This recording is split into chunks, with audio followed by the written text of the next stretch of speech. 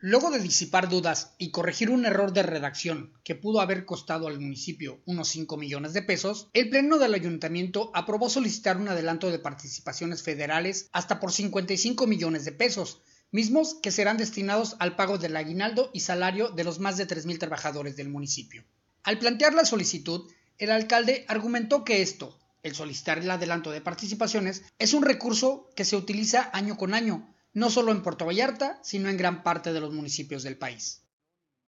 Este es un ejercicio que se hace año con año. La mayoría de los municipios del estado, o yo creo de la República, piden adelanto de participaciones porque se viene el pago de aguinaldos y de sueldos. Aquí, por ejemplo, el municipio de Puerto Vallarta son 70 millones aproximadamente que tenemos que pagar en diciembre de puro aguinaldo, ¿verdad? Más aparte las dos quincenas. Entonces, año con año solicitamos anticipos de participaciones y bueno, el siguiente año pues vamos pagando. Ya llega otra vez la fecha y otra vez se vuelve a pedir y así es cíclico.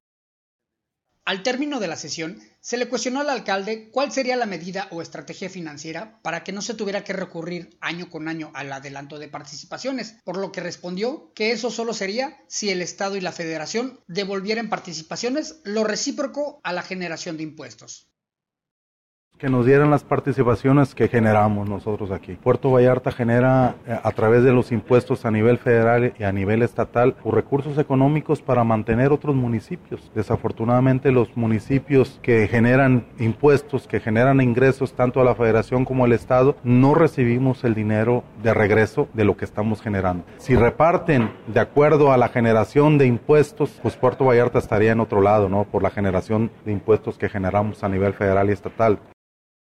De tal manera, desde la perspectiva del alcalde, al no haber esa reciprocidad entre Estado y Federación con el municipio, Puerto Vallarta deberá año con año seguir solicitando adelanto de participaciones, aunque también podría prever ese gasto con antelación y echar mano de estrategias financieras para poder evitarlo. ¿No cree usted?